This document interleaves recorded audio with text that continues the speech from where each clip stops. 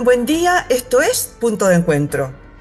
Las enfermedades raras o huérfanas han estado como nunca en la noticia. La amplia difusión del caso de Tomasito, el anuncio del presidente de la cuenta pública sobre incluir algunas indicaciones al proyecto de ley de enfermedades poco frecuentes y a poco más de un año de que el MinSal anunciara la aplicación del tamizaje neonatal ampliado que identificaría 26 enfermedades metabólicas congénitas, vamos a conversar con la doctora Repeto, Gabriela Repeto, médico cirujano, pediatra, genetista clínica y directora del programa de enfermedades poco frecuentes de la Universidad del Desarrollo. ¿Cómo estás tú? Muchas gracias por recibirnos. Buen día. Buen día, Miriam. ¿no? Muchas gracias a, ti y a los auditores de Punto de Encuentro por eh, su interés en, en poder conversar, la oportunidad de conversar de este tema.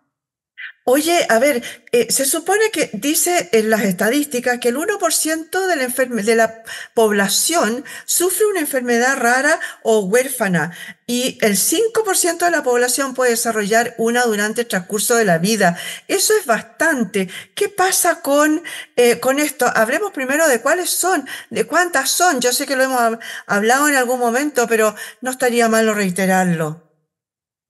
Eso, un, repaso, claro. Las enfermedades raras o poco frecuentes, como lo dice el nombre, se definen por eh, eh, su, frecuencia en la población. Entonces, el, número más usado son enfermedades que afectan a menos de una en 2.000 personas, ¿cierto? Esto, por ejemplo, para contratar, contrastarlo con la hipertensión o con la diabetes, que afectan a uno cada tres adultos más o menos. Entonces, ese es como como el orden de, magnitud. Y hasta ahora se han descrito como unas 8.000 enfermedades raras o poco frecuentes. Y eh, pero si uno, entonces cada una es individualmente rara, pero si las juntamos a todas, tal como dices tú, Miriam, la, estimación es que 5% de la población, o sea, uno cada 20 personas a lo largo de su vida podría tener alguna enfermedad rara. Y nos ha pasado ahora que, como, como dices tú, como el tema ha empezado a, a ser más público, la mayoría de nosotros reconocemos tener algún familiar, algún conocido, algún eh, colega de trabajo con algún hijo que, tiene esto. Entonces, está, algo que siempre había sido invisible, ahora lo, lo hablamos. Sí, de tal manera que incluso hay eh, otros papás que están haciendo lo mismo que la mamá de Tomasito, el tema del caminar para llamar la atención sobre esta enfermedad. Cuéntame, a ver, yo creo que eh, como dices tú, eh, pensado del, punto de vista del uno cada 20, es eh, mucho, ¿no? uno creería que la enfermedad rara es como una en un millón o una en muchos millones, que era lo que sucedía antes, ¿no es cierto? Y, y por eso a lo mejor el alto costo de los remedios. Cuéntame un, poquito, más, más, que de los remedios, de los tratamientos, ¿no?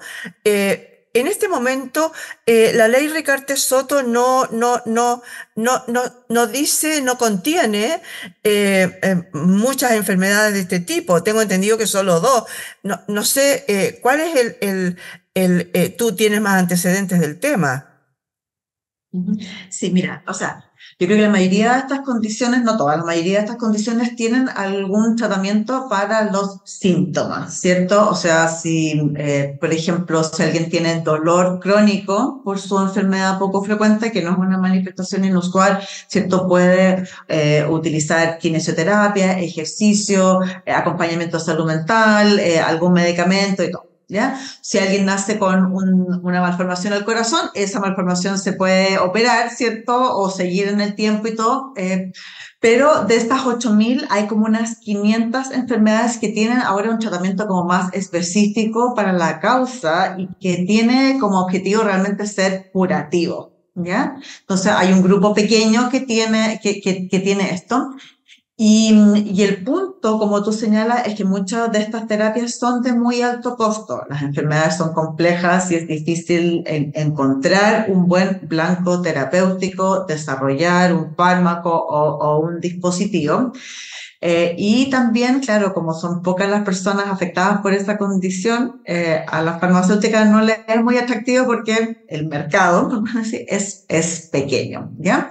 Entonces tenemos esta situación de medicamentos que nunca habíamos visto antes en la historia de la humanidad y que han ido apareciendo en los últimos años pero que tienen esta gigantesca barrera del alto costo. Y eso es un problema eh, muy grave y tiene muchas, muchas aristas.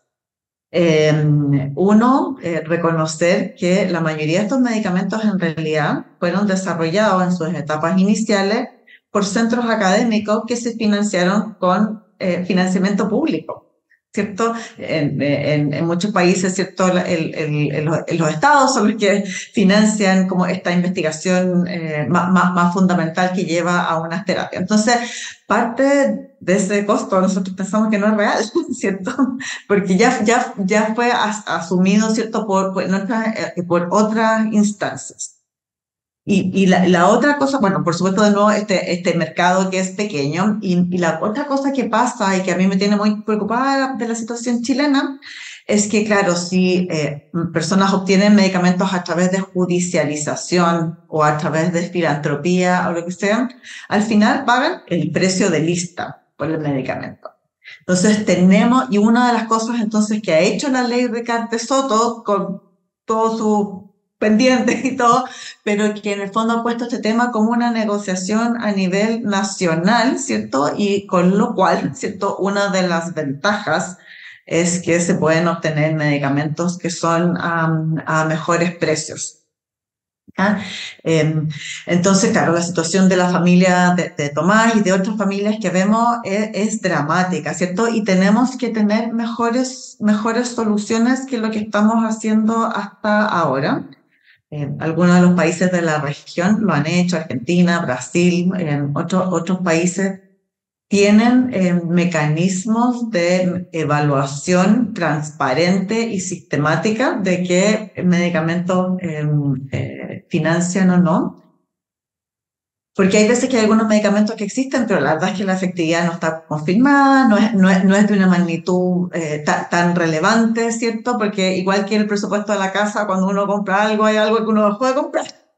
Eh, entonces, esa es una discusión que se tiene que tomar como con mucha seriedad. Y la otra cosa es que también estos países han optado por otros mecanismos de pago de estos medicamentos. Eh, y, por ejemplo, hay un gran tema que se llama los acuerdos de riesgo compartido, en el cual em, los estados, ¿cierto?, compran un medicamento y pagan parcialmente y el resto de los pagos se hacen contra resultados, o sea, contra demostrar que este medicamento fue eficaz. Entonces se comparte de nuevo el riesgo entre la familia, el pagador, ¿cierto?, estatal u otro, pero, pero también la, la farmacéutica. Entonces, ese es el tipo de cosas en las cuales yo creo que debiéramos avanzar para no tener a familias que además de tener que cuidar de su hijo enfermo, tengan que caminar por centenares o miles de kilómetros para em, obtener em, eh, las la, terapias o diagnósticos que, que, necesitan.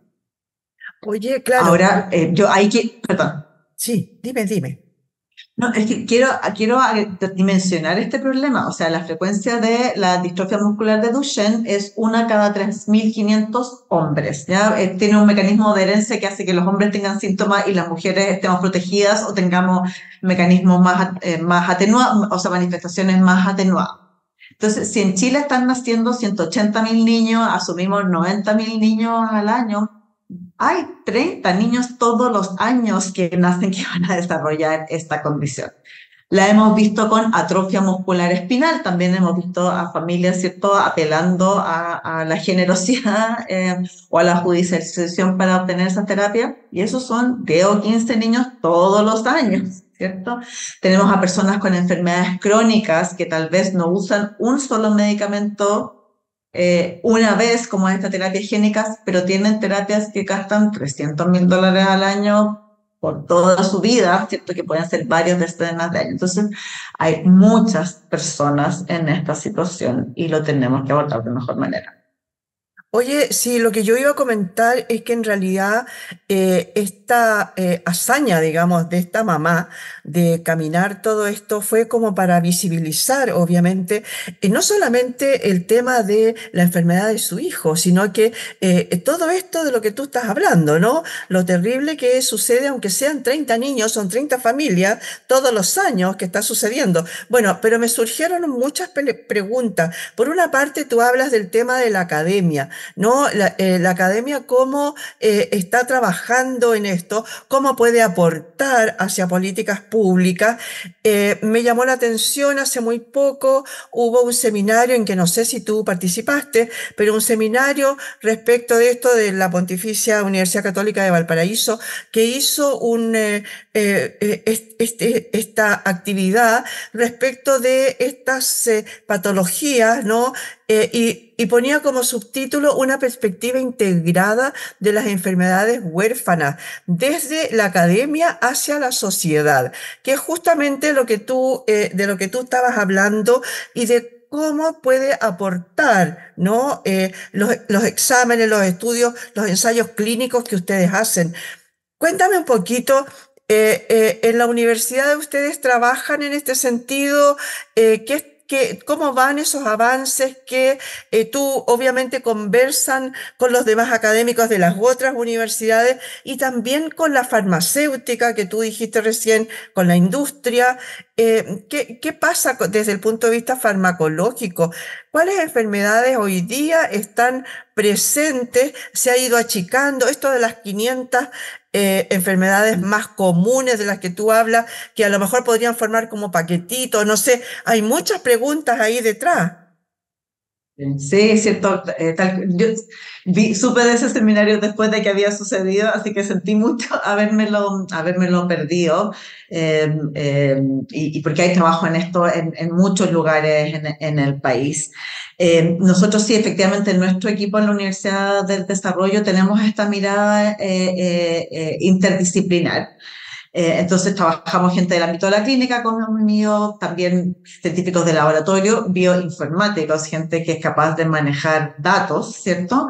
Las agrupaciones de pacientes, ¿cierto? Para tratar de entender sus preguntas, sus perspectivas y todo. Y también hemos expandido nuestro programa a colaborar con científicas de, eh, la, del área de antropología, de la sociología, de la epidemiología, con, con miradas de la economía de la salud, o sea, con, con miradas hacia, hacia las ciencias sociales, por un lado, eh, para capturar la complejidad de lo que sucede a las familias y tener soluciones que realmente eh, eh, respondan a las necesidades de la familia.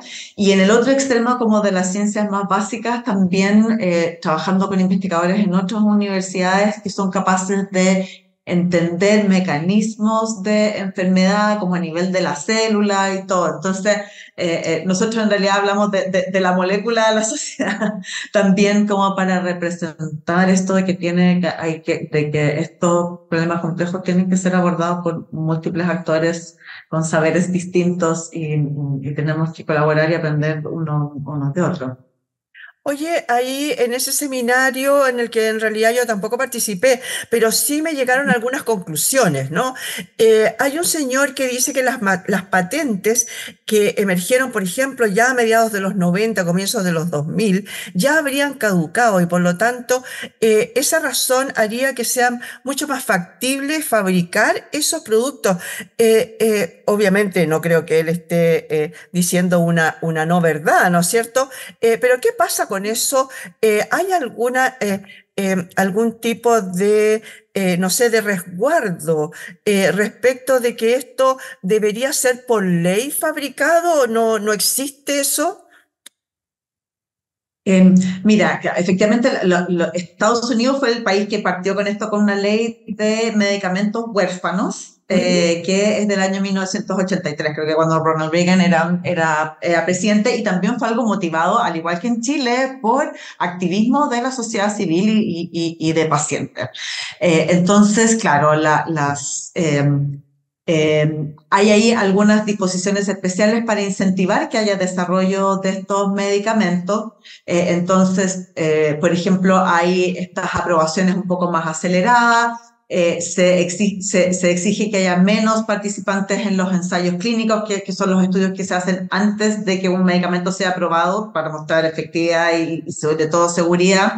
Eh, y también se les otorgaron periodos de patentes de exclusividad más largas que las que se otorgan a otros medicamentos. Entonces, claro, algunos medicamentos, como dices tú, cerca de los 80 y los 90 están eh, ya eh, eh con sus patentes de, y de exclusividades ya, ya vencidas. Y nosotros lo hemos visto, por ejemplo, en el ámbito de un grupo de enfermedades raras, que son las enfermedades de depósito lisosomal, que muchas de ellas están cubiertas en la ley de Soto, que ahora hay un abanico de, de opciones terapéuticas y esto, por supuesto, que ha abaratado costos, ha, ha mejorado también algunos desenlaces o o, algunos han avanzado en hacer más fácil la administración de, del medicamento y todo. Entonces, cuando aparecen más actores sobre la mesa, ¿cierto? Eh, eh, eh, las personas ahí tienden a, o, quien sea, a, a, mejorar lo que tienen que, lo que tienen que ofrecer. Y hay algunas otras, como estas que hemos visto en el último tiempo, claro, que, que estas aprobaciones son súper recientes, así que van a pasar muchos años en que se, se, se puedan elaborar.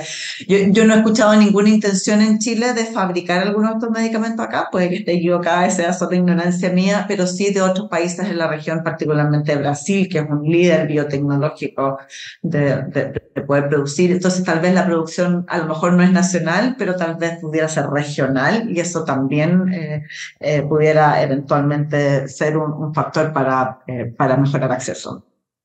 Oye, eh, eh, una de las cosas que, llamaba la que llamó la atención con el tema de, de, Tomasito fue que la mamá lo que pedía era no solamente eh, el acceso al medicamento, al tratamiento, sino que además el tener que viajar al lugar para que le hicieran el tratamiento allá, porque decía que acá no había esa expertise, porque claro, era un medicamento que a Chile parece que no había llegado nunca.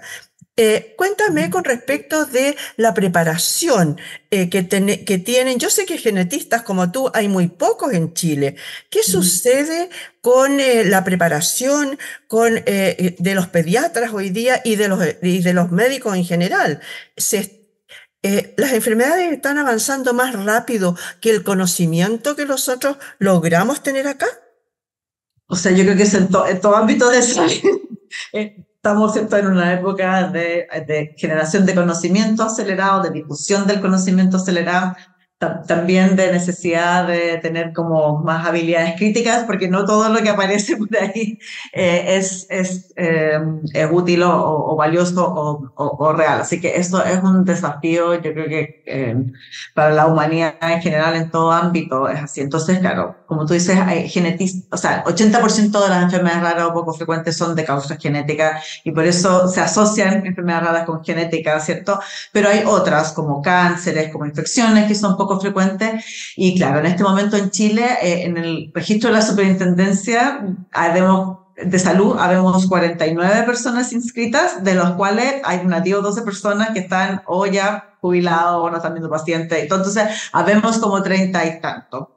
Pero eh, eh, yo, yo, también soy de la idea que esto no es solo ámbito de los genetistas. O sea, en el ámbito de cáncer, o sea, hay ahí uso de terapias avanzadas y de agentes quimioterapéuticos nuevos y otros desarrollos que no lo necesitan, o sea, que tienen que ver con a lo mejor manipulación genética, pero que los genetistas nunca hemos estado involucrados y que los oncólogos hacen de manera, eh, eh, de manera súper autónoma. Muchas de estas enfermedades que ahora tienen terapias como de nuevo la, la distrofia muscular de Duchenne, AME todo, la ven los neurólogos en Chile y yo creo que ellos, están o son mucho más, más capacitados que nosotros para decidir este es un niño que se va a beneficiar, esta es la manera que nos vamos a conseguir el medicamento y todo. Entonces, eh, yo eh, eh, quiero señalar que esta puede ser responsabilidad, o sea, puede ser, esta responsabilidad puede estar repartida entre muchas otras, entre muchas otras personas y no solamente entre los genetistas que tal como tú dices somos un, un recurso escaso y hay ámbitos en que hay gente que sabe mucho más que nosotros.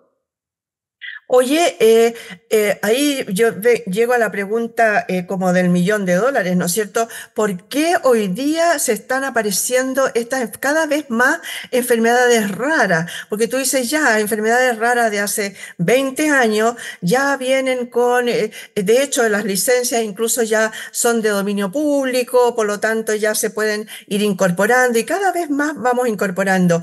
La capacitación de los, de los médicos en, en general, no, no, no, no me refiero solamente, claro, es, un bien muy, muy escaso el tema de los genetistas, ¿no es cierto?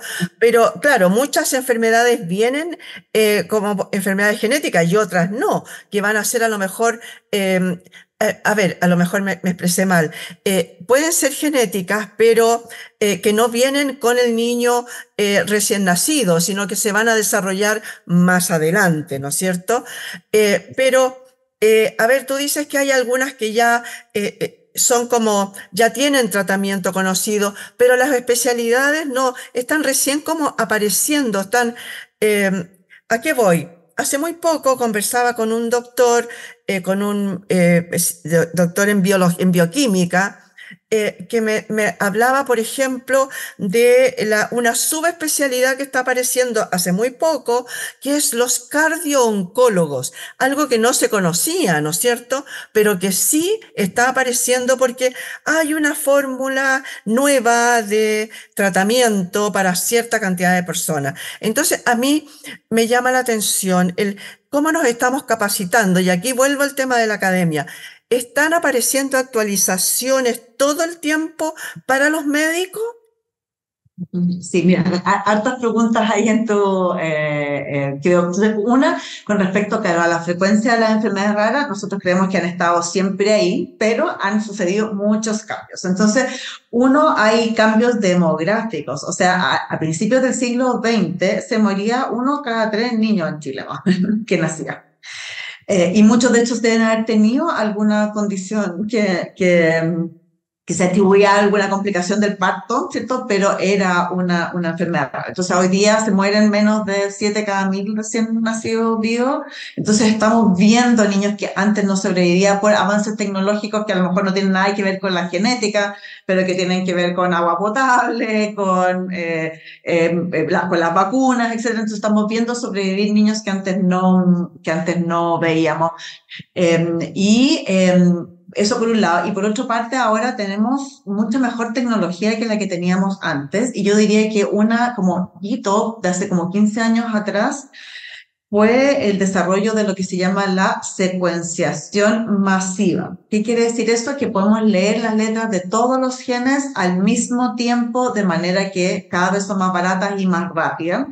Entonces había cosas que antes no conocíamos y en cambio ahora aparece una enfermedad nueva, yo diría que como cada semana, eh, a través de, eh, en el fondo, estas nuevas tecnologías y también de una cosa cultural en el mundo, que es compartir información, vincularse con, con, eh, investigadores en otras áreas. Las mismas familias se vinculan entre sí. A mí me acaban de diagnosticar esto, hay alguien más en el mundo y los contacta alguien de Tailandia, se arma una agrupación y, y, después de eso se desarrolla investigación. Entonces ha habido muchas cosas que yo creo que han contribuido a hacer que esto sea más visible, ¿ya?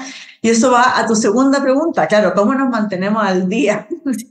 y, y, claro, en, en, yo digo, en medicina, por lo, en el ámbito de la salud, cuando uno no sabe algo, hace dos cosas, o lee o le pregunta a los colegas. y, y, claro, y parte de esa lectura nosotros sabemos a dónde ir a buscar información y ahora, por supuesto, que además de leer, hay webinars, hay cursos y todo. Entonces hay material disponible y yo creo que la gran tensión, ¿cierto? Como siempre, es tener tiempo para poder participar de todo ese rico material que está, eh, eh, que está afuera. Y, y, de nuevo esta colaboración, lo que nosotros llamamos en, en, en, medicina, ¿cierto? Pedir una interconsulta al colega o conversar y todo. Ahora también está una red que no abarca solamente a la persona que está atendiendo en el box al frente mío, sino que también en el fondo a, a, a, colegas, a colegas en todo el mundo. Eh, entonces, eh, de nuevo, hay información ahí. Si la cosa es en qué minutos podemos sentarnos con calma y con tranquilidad a, a adquirir, a formarnos, a, eh, a generar conocimiento nuevo. Ese es un, un gran, gran desafío. Oye, no quiero terminar de conversar contigo hoy día sin hablar del tema del tamizaje neonatal que lo hablamos eh, la vez anterior que lo conversamos, ¿no? Y tú me decías la, eh, el, que iba a incorporar una serie de otras pesquisas que antes no se hacían, ¿no? Eh, cuéntame un poquito así a grandes rasgos para la gente, para que sepa de qué se trata este tamizaje neonatal. Sí, esta es una cosa que, aument- que democratiza y aumenta el acceso a, a diagnóstico. La pesquisa neonatal es algo que existe también en Estados Unidos desde los años 60 para detectar enfermedades antes de que se manifiesten y para enfermedades para las cuales sabemos que hay una terapia que se implementa antes de que partan los síntomas o lo, o lo más cercano al inicio de los síntomas, eso tiene un gran impacto en, eh, eh, en salud de, de, las personas. ¿ya? Entonces, en Chile desde los años 90 existe tamizaje neonatal para dos condiciones que se llaman fenilcetonuria e hipotiroidismo. Después se eh, eh, expandió a eh, hipoacusia, o sea, sordera, niños que nacían con problemas de audición y que antes se diagnosticaban a los dos o tres años cuando los niños no estaban, a, ya no, no, tenían un retraso del lenguaje y todo, en cambio ahora si los pesquisamos antes, eh, intervenimos, ese niño va a tener un desarrollo del lenguaje normal, ¿cierto? Y ahora hay equipamientos que permiten mirar veintitantas eh, enfermedades que se llaman errores innatos del metabolismo, que son problemas en cómo uno convierte lo que come en energía para el cuerpo. Y lo que más necesita energía en nuestro cuerpo es el cerebro.